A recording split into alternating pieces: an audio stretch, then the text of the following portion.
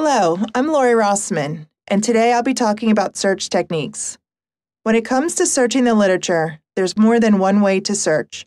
Which technique you use will likely depend on the purpose of your search and the types of resources that you are hoping to find. In this lecture, you'll learn about five common search techniques basic searching, berry picking, citation searching, pearl growing, and concept building and when it's valuable to use each of these techniques. Most of you are probably very comfortable with what we like to call the basic search. You may even refer to this approach as Googling.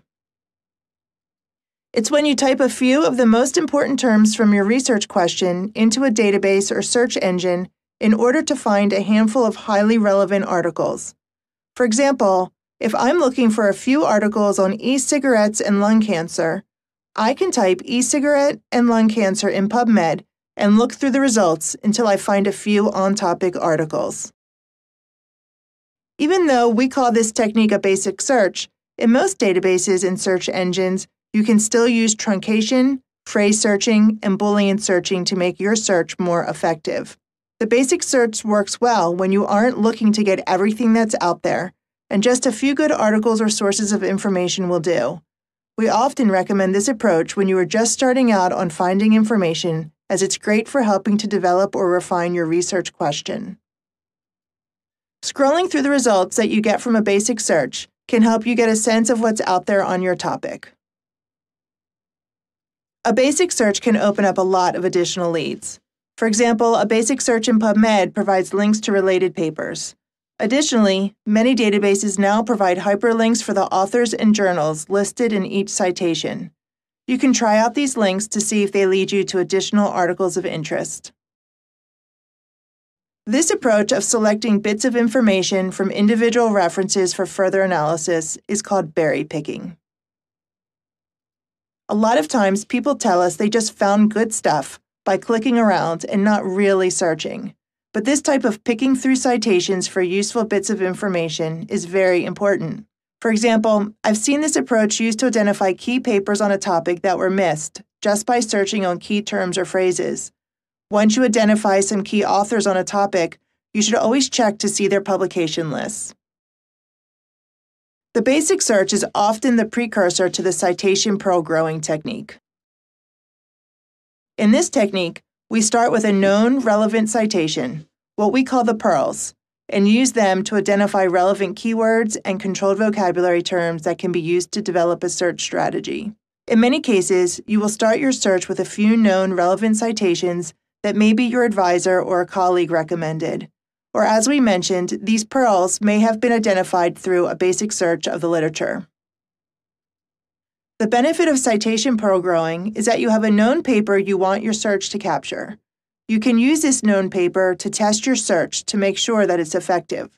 Citation pearl growing is an iterative technique. You will want to review a few new citations each time you grow your search. It's very likely that each of these perfect citations uses different terminology in the title and abstract and is indexed with different controlled vocabulary terms. It's also a technique we use to help people identify when it's time to stop searching. When your pearl growing process no longer retrieves additional on topic citations, this may be an indicator that you've reached an appropriate level of recall. Citation searching or snowballing is a component of berry picking. It can be used in the early stages of your search while you are scoping the literature to find highly relevant articles, or it can be used at the end of your search to make sure you didn't miss anything important. In recent years, it has emerged as a technique unto its own, as it is one of the mandatory requirements for conducting systematic reviews. Citation searching uses tools provided by databases to do something that we call forward searching and backward searching. Forward searching is a process of finding articles that cite your original article of interest. Backward searching is when you check the references of the original article of interest. Citation searching is an excellent way to find articles you may have missed. Citation analysis tools are available in many databases. Scopus, Web of Science, Google Scholar, and PubMed Central are a few examples. Here's an example of the citation links in a Scopus record. This paper has 28 references. A link to these references is located at the top of the abstract. As you can see on the top right, this paper has been cited seven times. This column on the right of the display lists the first three citing papers and a link to view the complete list. This is an expanded view of the reference list. Notice that each reference also links to its cited by papers, and each of those papers has its own set of links to references and cited by papers. As you can see, the chain of links to papers may be endless. One initial citation can potentially lead you to many more relevant papers. This last technique I'm going to cover is what we call concept building. This technique is used when you need to be exhaustive and comprehensive with your search. What I mean by this is concept building is used when you want to make sure that you aren't missing key articles on your topic. For example, if you are working on a systematic or scoping review, you'll use this approach. With this style of searching, You'll break your research question into main concepts and then build a mini search for each concept.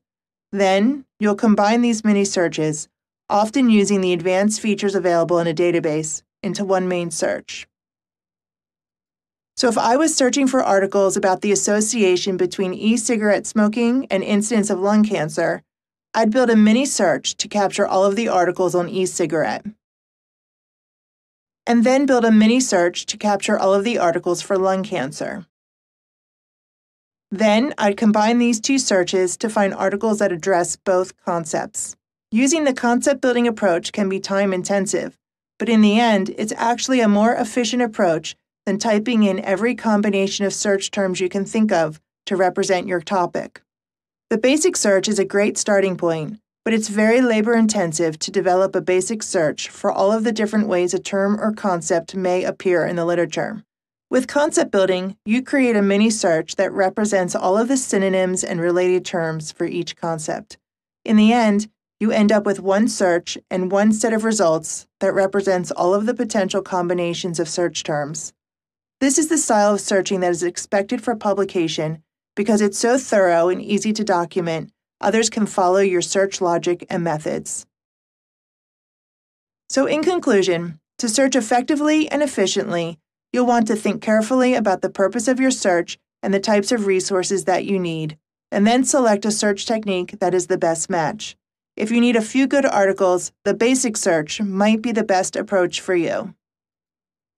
In addition to the basic search, berry picking and citation searching can help you discover important citations that are linked to your highly relevant papers through reference lists, cited by lists, and other publications from key authors. Pearl growing is useful to help identify a more complete list of relevant search terms. But if you're trying to be more comprehensive and you know that you will eventually publish your results, you'll want to use concept building. This concludes our presentation on searching techniques.